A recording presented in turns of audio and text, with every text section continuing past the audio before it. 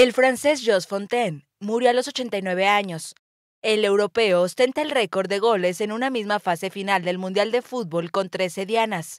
Batió el récord del Mundial en 1958 en Suecia, campeonato en el que Francia logró llegar a la semifinal por primera vez en su historia, siendo batida por el Brasil de Pelé, que fue luego vencedor del torneo.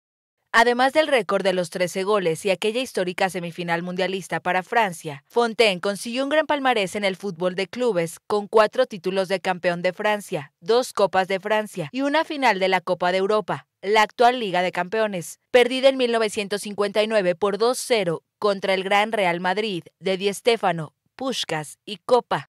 La trayectoria como jugador de Fontaine se vio coartada brutalmente a finales de 1962, con apenas 28 años después de una doble fractura en una pierna.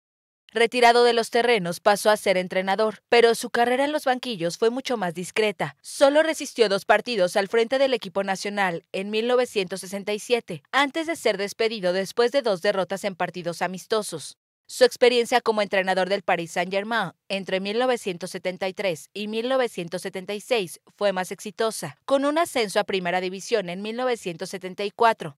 Cerró su carrera como técnico en su tierra natal, en Marruecos, dando a la selección de ese país el tercer puesto en la Copa de África de 1980.